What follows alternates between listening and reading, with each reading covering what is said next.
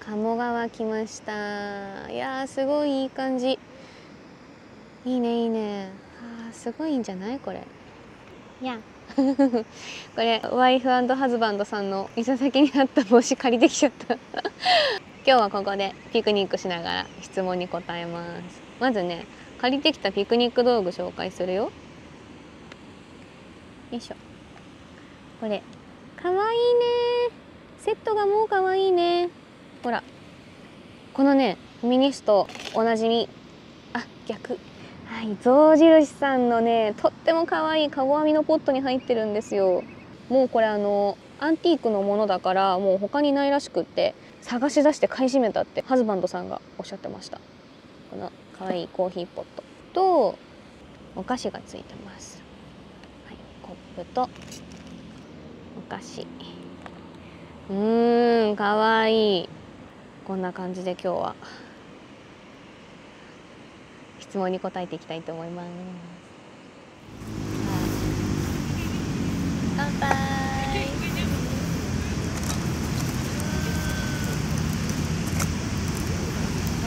ハズバンドさんは本当にコーヒーが美味しくてお店の雰囲気もそうだしでぜひ行ってみたらお店が成り立つまでのエピソードを聞い。てほしくってすっごい。素敵なエピソードがあるんですよもう好きになっちゃう絶対。私ドラマでお世話になってから今日で3回目。いろんなのやってて質問コーナーね。あれ質問別に出してないけどなってみんな思うと思うんですけどだいぶ前にねあのホームページ開設してしばらく経った時に有料会員の方限定で質問を募集したんですよ。で私 Voicy の方で答えますっていう風に言ってたんですがその後まあ生活が変わってしまいなかなか家の中が静かな時間っていうのがなくてイメージとしては Voicy って夜寝る時になんかイヤホンからこうしっとり聞きながらみたいな使い方をしてほしいなって思ってたので今回こういう機会なのでピクニックをしながら質問に答えましょうということで今ここにありますねあちこちで取ろう取ろうって思っても髪ぐしゃぐしゃ。できる限りね日が沈むまで精一杯答えたいと思います。えー、とまず1個目。私は文野さんがインスタで書く長文がとても好きなんですがエッセイとか旅行記もしくは料理本と文章のお仕事をするということを考えていますか？ありがとうございます。今ねなんかそれを有料会員のみんなが見れるブログでそんなようなことをしていますね。まああわよくばね何かのいいタイミングの時にエッセイ本じゃないですけどライフスタイルブックじゃないけどなんかそんな形で形にできたらいいなと思ってるけどどうだろうね。いつまでブログを続けられるか。そんな感じです。保有業にとどまらずお料理ダイビングなど多彩な文野さんのモチベーションが上がるきっかけやタイミングモチベーション維持の方法があればお聞きしたいです。モチベーション維持はもう本当にワクワクすること。自分が何にワクワクするかっていうのはもうこの年になってくると分かるのでそれを得られるような状況に自分を置いたりとか好きなことを1個置いてそこから輪を大きく広げていってなんか一つの物事にするとか。この YouTube とかもそうなんですけどもともと海が好き旅が好きから始まってそれを1人で収めておくんじゃなくってみんなでシェアできたら楽しいなみたいなそんなイメージが強いのでモチベーションはそうですね。ワクワクすることですね。みのちゃんファンクラブ開設おめでとうございます。ありがとうございます。ちょっと1年近く経っちゃうことなんですけど。ありがとうございます。私は最近キャンドルやお香にハマっています。ふみのちゃんは好きな香りってありますか？普段ふみのちゃんが好んでつけているフレグランスだったり柔軟剤の香りだったりどんなものでもいいので好きな香りがあったら全部知りたいです。よろしくお願いします。なるほど。うんとねお家のアロマ芳香剤？なんて言うんだっけお家のあのわかる。ディフューザー。アロマディフューザーは Rosy Rings さんっていうブランドの木っぽいやつ森っぽいやつのを置いてますね。なんかこう新緑の感じが味わえる香りを置いてますね。そのぐらいかな。ああとシャンプーとかそういうのはオルコスメティクスさんのものをずっと使ってますね。カサブランカの香りここで一つ質問なんですがファンクラブを設立されたということで今後ファンミーティングを開く予定とかありますか？フェミニストのみんなは文野さんに直接お会いして日頃のお礼とかいろんなことをお話ししたいと思います。いやーなんかこういう質問もらってたって思うと本当にお渡し会？計画してよかったって思いますね。あでもどうだろう。これがを出す時はやってよかったになるかもしれない。ちょっとわかんないけどなかなかねその接会ってお話しするっていう機会ないので結構思い切った企画だったんですけどこう言ってもらえるとめっちゃ頑張ろうって思いますね。また今後も2024年が私がデビュー20周年だったりとかフミニストっていう言葉ができて10周年だったかな？いろいろあるのでなんかねやりたいですよね。のちゃん第2弾のカレンダーずっと待ってます。作ってくれませんか？あーこれも叶えた。あなんかいいねこの。過去にもらった質問今読むと叶えられたこともあって。ちょっと嬉しい。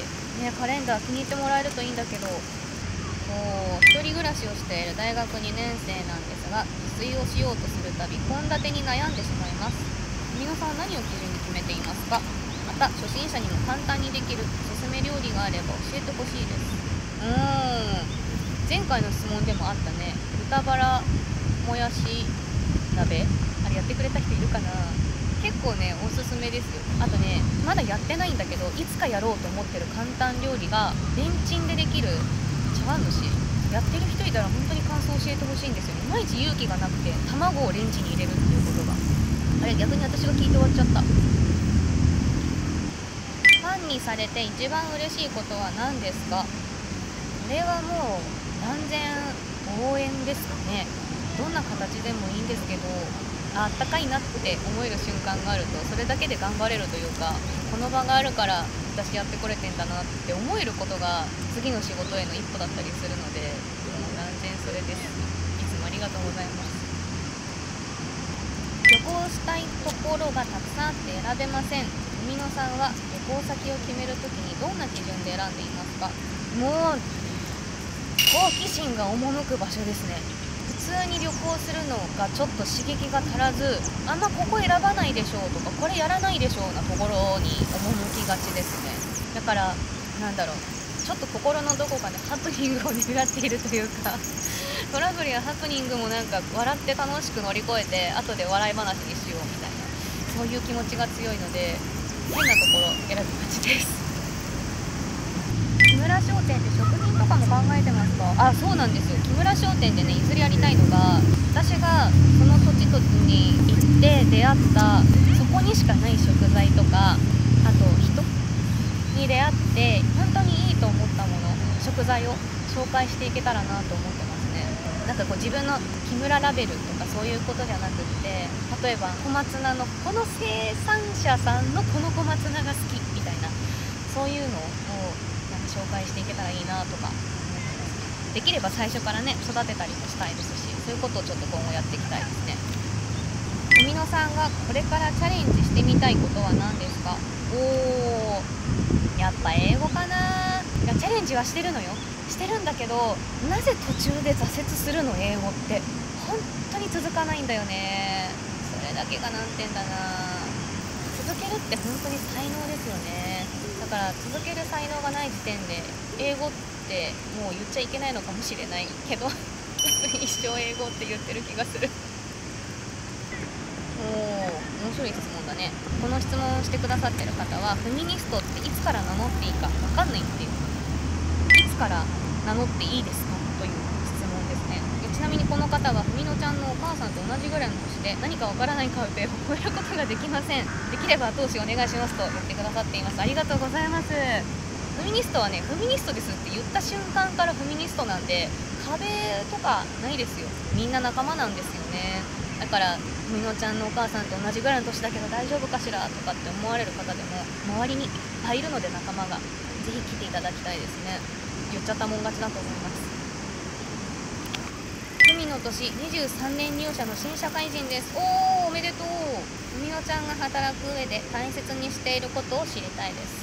私が働く上で大切にしてることはこれ人としての生き方も大事にしてるんですけどとにかく「ありがとう」と「ごめんなさい」をちゃんと言うことですね。たまに理不尽なこともありますよ。なんでこっちがごめんって言わなきゃいけないんだよみたいな。でもそういう人にこそ「ごめんなさい」ってこっちが言うと意外とすんなりその後話が進んだり意外と仲良くなったりとかそういうことが多いなって思いますね。あとは「ありがとう」って言われて嫌な気持ちになる人いないなって。これからきっと社会の荒波に飲まれていくと思うけどありがとうとごめんなさいの気持ち大事にしたらきっと好かれる人になって助けてくれる人が増えて素敵な社会人生活送れると思います。頑張って。さあじゃあちょっともう暗くもなってきたので。ねいいね今日はいい天気だ最後に今日もふみおちゃんが大好きですちゃんと伝わってるといいなこれからも伝え続けますありがとうございます好きって言ってくれる方がいる限り私も好きってしっかり返していきたいと思うのでこれからも楽しみにしてもらえたらなと思いますどうでしたかまたねご質問を集めてやらせてもらえたらなって思ってますそれじゃあいい夜をおやすみなさい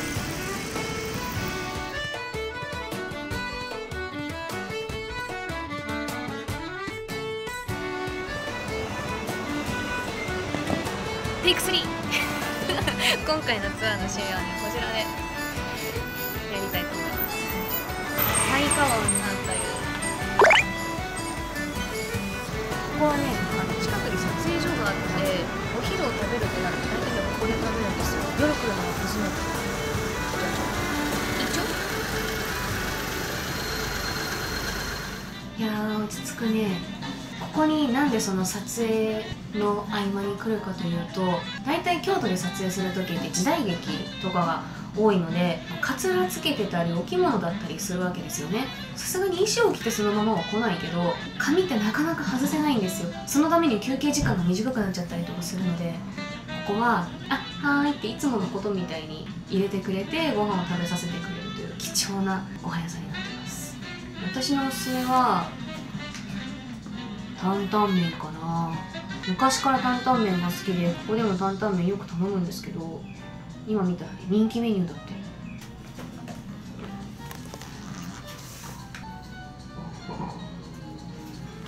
で実はここ食べるラー油って流行ったじゃないですか少し前に。それがここが発祥のお店で結構辛いのが好きな友人が多いので、ね、その食べるラー油ねそうそうそれそれ。今ね上田君がいてうちの母親がいます。すっごいねこれザクザクしたね。自家製のこのラー油発祥のお店でもあるわけですがね。ぜひねお土産で買って帰ってください。お土産だけだったら中でご飯食べなくても買って帰れるので。おすすめ。すごく美味しい。さあじゃあここで頼もうか。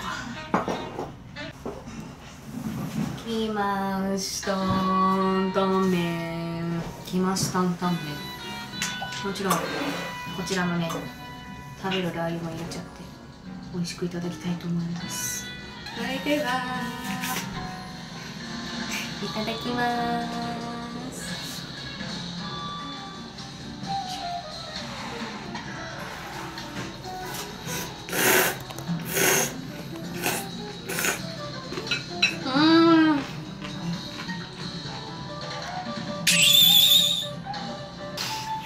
さあんまり得意じゃないのまあここまで見てきて分かってると思うんですけど毎回これやってるからもうこれで通そうかなと思って。